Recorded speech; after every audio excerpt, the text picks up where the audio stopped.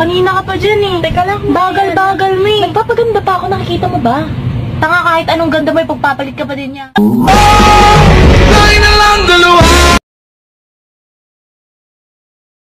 Sana all. Mukhang baby face. Ako kasi mukhang ano. Mukhang baby mo. Nice to, nice to know ya. Let's do it again. This is a sound for all the girls with an RBF. First, show how you smile. Next, show your resting bitch face. Let's see who has the worst one. The four types of bitch face resting, side eye, the eye roll, and the up and down. Tumingin ka sa akin. Tumingin ka sa akin. Titig pa. Titig pa. Oh. Sa akin ka lang.